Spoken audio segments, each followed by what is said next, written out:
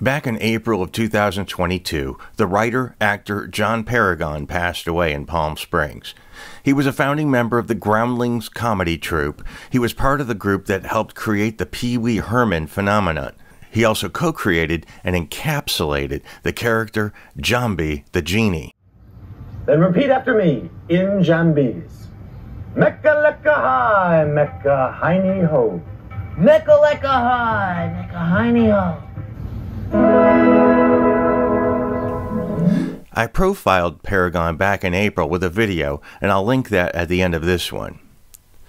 After his death, John's sister, Mary Paragon Roberts, organized a fundraiser on GoFundMe and accepted donations to pay for John's interment at Hollywood Forever Cemetery.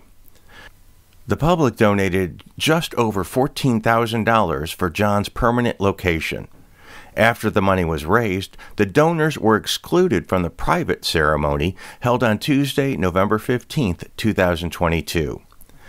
Attendees included John's friends and family, including Paul Reubens, aka Pee Wee Herman, Cassandra Peterson, aka Elvira, Mistress of the Dark, and Lynn Marie Stewart, aka Miss Yvonne. The cremation niche, they could not have got it better. Paragon is in a glass niche in the Haven of Devotion in the Abbey of the Psalms Mausoleum, E2 East Wall, niche D3.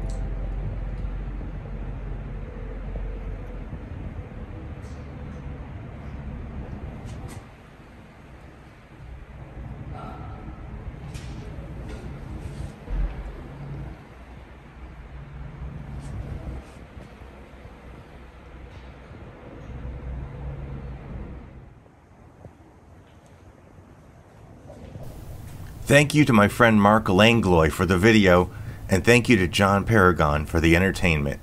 Mecca lecca hi, Mecca hiney ho. Long live Jambi.